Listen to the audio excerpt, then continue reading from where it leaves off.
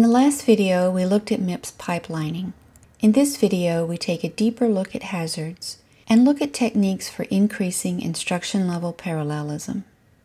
To recap from last time, we've divided the data path into five stages. Each instruction moves forward to the next stage on every clock tick. With five stages, the CPU can work on up to five instructions at a time. However, hazards, data hazards, and control hazards will often prevent us from getting our five times increase in our throughput. Let's take another look at a data hazard. Here we see that the destination register 2 will not be written back to the register file until the fifth pipeline stage. That means it won't be there for the AND or the OR instruction. The diagram shows this by the blue lines going down and back. The data will be there for the add instruction and the store word instruction. This is shown in the diagram by the blue lines going straight down or down and to the right. The line going straight down is okay because we can read from the register file in the second half of the clock cycle. Let's look at what would happen without forwarding. The clock cycles are shown going across the top of the diagram, and the instructions coming into the CPU are shown top to bottom. We see that not until clock cycle 5 is the previous value in register 2 updated to the new value. That means if the AND or the OR instruction read register 2, they would read the old value, not the correct value. So we need forwarding. But how is it implemented? Forwarding is supported by the pipeline registers. Here is some Verilog code that explains the logic of forwarding. The notation is stage.register, where stage means one of the pipeline registers. The 1A and 1B hazards are when the destination register of the previous instruction is the source register, either RS or RT, for the next instruction. In this case, we need to forward from the EXMEM pipeline register. The type 2 hazards are load use hazards as well as some data hazards as we'll see next.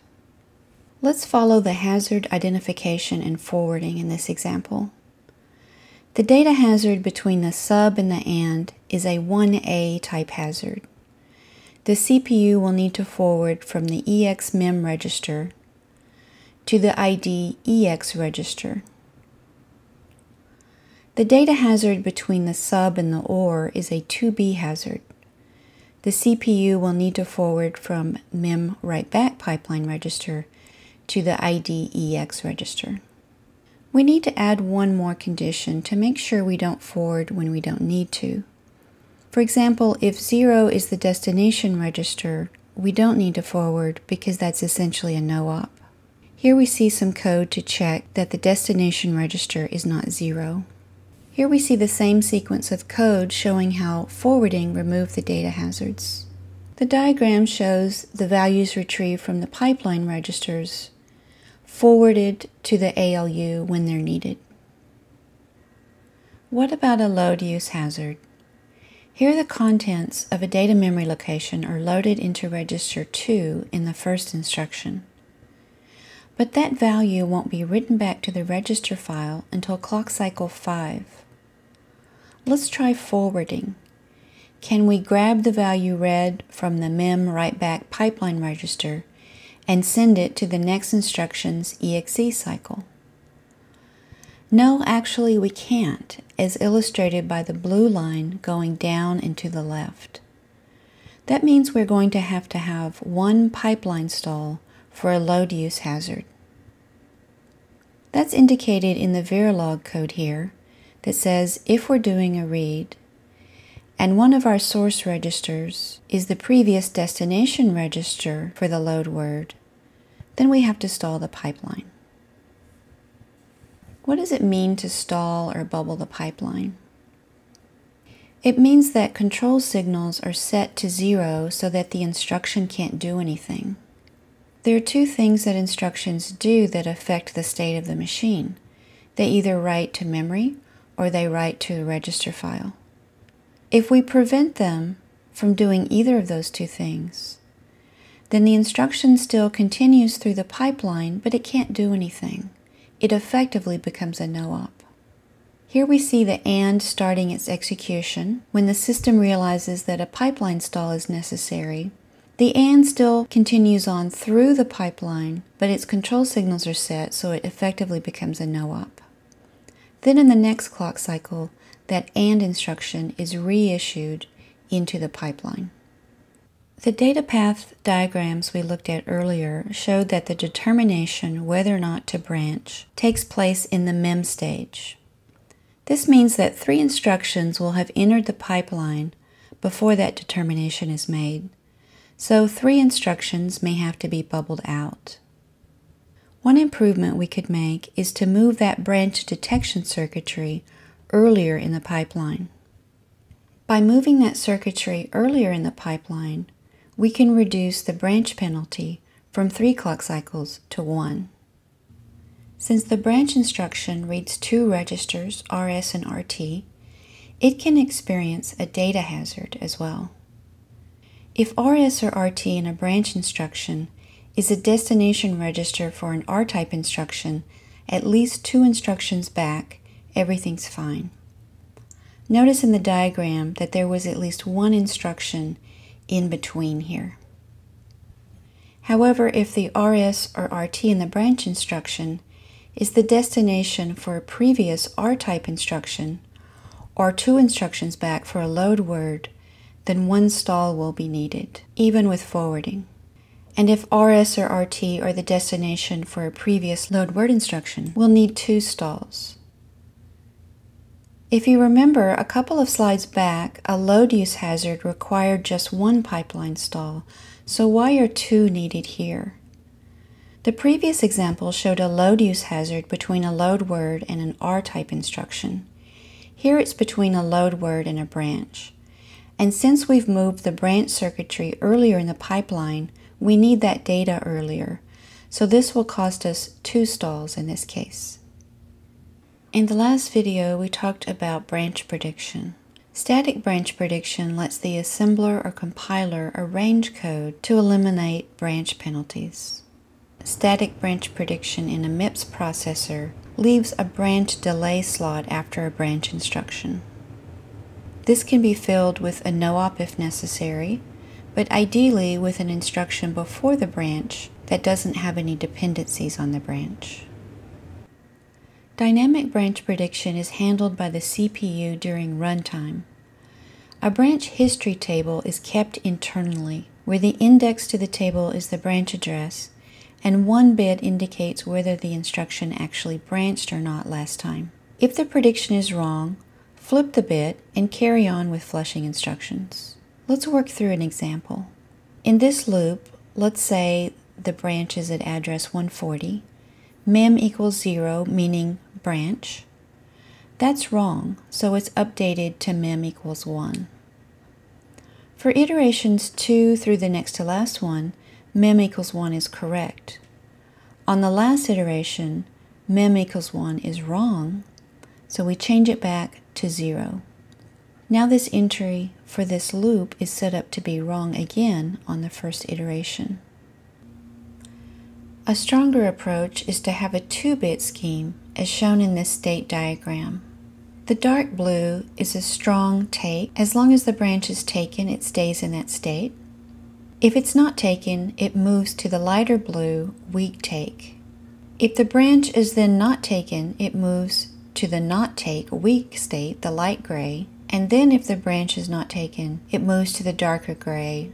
In this 2-bit scheme, the most significant bit is the decision, and the least significant bit indicates how confident we are about it. Let's work through the same example again. Initially, let's say mem equals 0, 0, strong take. That's wrong, so it changes to mem equals 0, 1, weak take. On iteration 2, that's wrong, so we change it to mem equals 1, 0, a weak not taken. Then for iterations 3 through the next to last one, mem can stay in the 1, 1 state, which is correct. In the last iteration, mem 1, 1 is wrong, so it's changed to mem10.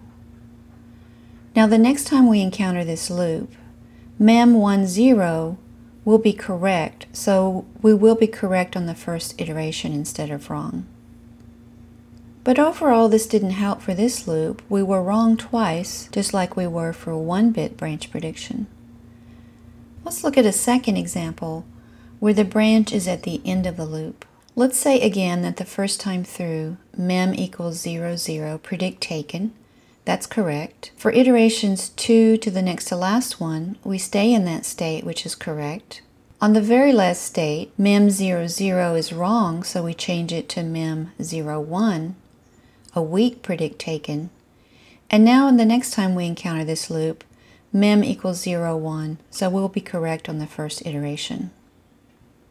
The benefit of the 2-bit branch prediction is that it identifies typical behavior of branches for an overall benefit. Branch prediction is a vast and complex topic in the study of computer architecture. We've just had a brief glimpse into some ideas here. How do exceptions affect the pipeline? Exceptions are really just another control hazard. An exception is any unexpected change in the control flow of a program, like an arithmetic overflow. What happens in MIPS is that the address of the offending instruction is saved in the EPC register in coprocessor 0. MIPS then transfers control to an exception handler. Just like any other control hazard, instructions have to be flushed from the pipeline and begin fetching from the exception control code. As shown in the book, exceptions can be handled with a minimum modification of additional control signals. There are two primary ways that we can increase instruction level parallelism. We're already working on up to five instructions at a time in the MIPS pipeline, and this is on a single core microprocessor. Two ways we can increase this is to either make a deeper pipeline or do what's called multiple issue. Here we see a deeper pipeline for another processor. It has eight stages and therefore could be working on up to eight instructions at a time. There's a trade-off to pipeline depth. A deeper pipeline will cause you to have to flush more instructions on a pipeline stall, which is more costly in terms of your average cycles per instruction. The other approach to increasing instruction level parallelism is multiple issue. On the left we have a diagram of what we've been doing with pipelining issuing one new instruction every clock cycle. Sometimes that's called a single issue or a scalar processor. On the right, we see a multiple issue processor, sometimes called a superscalar processor. Every clock cycle, we're going to issue two instructions into the pipeline. So now we could be working on up to 10 instructions at a time. This will require a little more hardware, as we'll see. Our CPI with multiple issue will be less than 1, so sometimes that is inverted to be IPC instructions per cycle.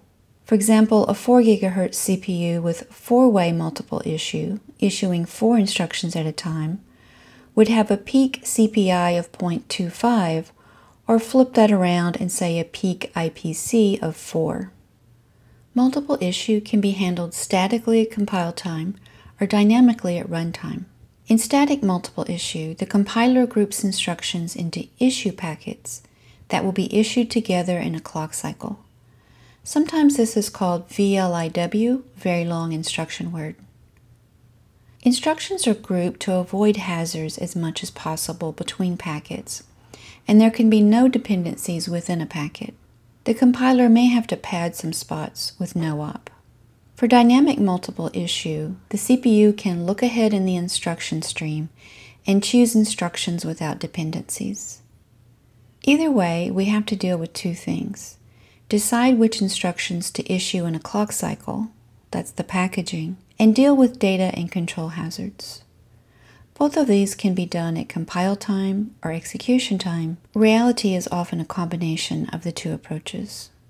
Let's look at how multiple issue will work. Each packet will have one ALU or branch instruction and one load store. Ideally, in each clock cycle, we'll be able to issue two instructions. This will require additional hardware. but not a lot of additional hardware as we see. The main addition is a second ALU. The bottom one can be used for address calculation for load word, store word, and the top one for everything else. We also need extra buses and ports for the data path. Let's look at this example trying to implement multiple issue. We have a loop that iterates through an array, loading an element, adding a scalar to it, and writing it back out. Each line in the table represents instructions that are issued in a clock cycle. With dual issue, one instruction can be an ALU or branch type instruction, and the other can be a load or store. The problem is that there weren't enough instructions to fill the slots, so they end up being filled with no ops. We get a very disappointing CPI of 0.8 instead of the optimal 0.5. As you can see, almost every clock cycle has an empty slot. One way to get better usage of multiple issue is with loop unrolling. We talked about loop unrolling in the video about compilers. It's one of the most important compiler optimization techniques. Here is the same loop that we saw before. And I've unrolled it so the body of the loop is now repeated four times except for the final branch. In order to accomplish that, we need to do two things we need to do register renaming. So instead of just using T0, the first copy uses T0, the second T1, the third T2, and the fourth T3. And the second thing we have to do is adjust the offsets to the address by 4, 8, and 12. One of the benefits that we talked about earlier for loop unrolling is that you reduce, you reduce the loop overhead. So instead of having a branch every five instructions, it's more like every 17 instructions. But the big benefit, as we'll see, is that now we have revealed more instructions that we can use for multiple issue. Here we see the unrolled loop instructions placed into the dual issue packets. Only two spots remain empty. The CPI is now very close to 0.5. For dynamic code scheduling, we're allowing the CPU to execute instructions out of order. The CPU can decide whether to issue 0, 1, 2, or more instructions each cycle, avoiding hazards. The CPU will ensure that the code semantics are followed. This avoids the need for compiler rescheduling, but it still may help. Here we see a conceptual diagram of how dynamic scheduling could work. All of the instructions come in, are fetched and decoded. The instructions proceed to reservation stations, where they're held until any dependencies are resolved. Once an instruction is ready to go, it goes to different functional units for either integer operations, floating point operations, or load stores, and they're executed out of order. The key here is this final commit unit, which makes sure that even though instructions are executed out of order, they are committed in order so that the code semantics are honored. The key point here is that these advanced superscalar processors can do out of order execution and in order commit. Another advanced CPU technique is speculative execution. A compiler or processor could guess the outcome of an instruction in order to remove it as a dependency. For a branch, it might assume that the branch is not taken. For load, an assumption may be made that a previous store didn't use the same location in memory. Of course, speculation can be wrong. Recovery techniques differ for static and dynamic speculation. For static speculation, the compiler will have to include a fix-up routine. For dynamic speculation, the processor can hold on or buffer the results until it knows the outcome of the speculation. Let's look at some data points about other processors, specifically the ARM A8 and Intel i7. These are very different processors for very different markets. The ARM chip is for mobile devices. The Intel i7 is largely used in servers. Relative to our recent discussion here, they both have a 14 stage pipeline. The ARM uses static in order scheduling, and the i7 uses the dynamic out of order execution with speculation that we've just been talking about.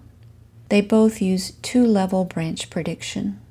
An interesting thing about modern Intel processors with their CISC complex instruction set is that since about 2005, Intel fetches the x86 instructions and translates them internally inside the chip into RISC like instructions they call micro-ops.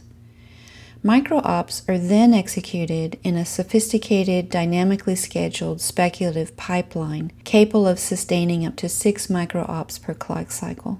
In this way, it enabled Intel to take advantage internally of some RISC optimizations while externally maintaining compatibility with legacy x86 code. However, all of this internal translation of CISC to RISC inside the processor requires more transistors and uses more power. This is one of the major power efficiency hurdles of modern Intel processors. This spec benchmark shows that the ideal CPI of 0.25 in darker blue is never achieved. The light blue shows the hits to CPI for stalls and misspeculation. The actual CPI ranges across these programs from 0.44 to 2.67. This chart shows the branch misprediction in light blue, and in dark blue shows the consequent wasted work by programs in one benchmark set. The misprediction only ranges up to 10%, but that translates into wasted work of up to 39%. That's a lot of wasted power. Finally, I want to mention the code at the end of chapter 4 for matrix multiply in the x86. You can look at the x86 code if you're curious. I'm just going to talk about the big picture here. The matrix multiply code, unoptimized, ran in 1.7 gigaflops. That's giga floating point operations per second. Using the advanced vector instructions that allow for single instruction multiple data parallel processing, the program executed at 6.4 gigaflops.